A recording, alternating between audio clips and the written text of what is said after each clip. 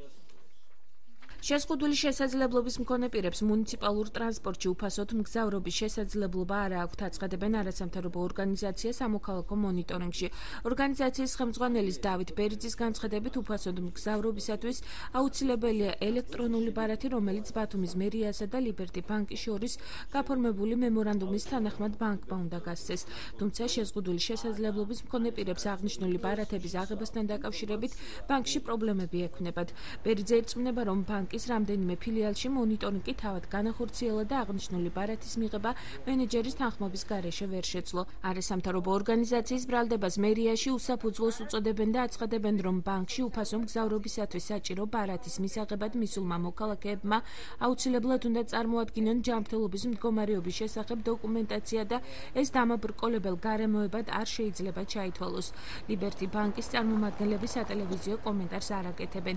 პირად საუბარში განმარტავენ ამბობენ, რომ უფასო გადაადგილებისათვის ბარათები პროგრამით გათვალისწინებულ ყველა პირზე უპრობლემოდ გაიცემა.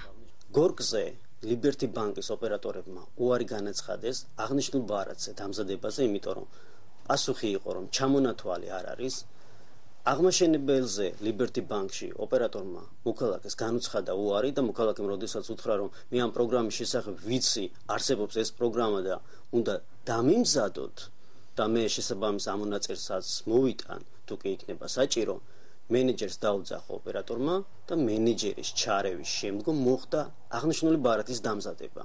მიჩნდება კითხვა ეს მართლაც არის ტექნიკური ხარვეზი თუ ეს არის გათვიცნობიერებული ტექნიკური ხარვეზი. ჩვენ დაუკავშირდით ესევე Liberty Banks, ყოველ თითქმის ძალიან ისეთი მჭიდრო ურთიერთობა გვაქვს მასთან, ინფორმაციების გაცვლასაც ვაკეთებთ და იცით აუცილებლად უნდა იყოს აი ამისი, ვთქვათ, ვინ არის ეს პირი, რომელ ფილიალში მოხდა, ხო?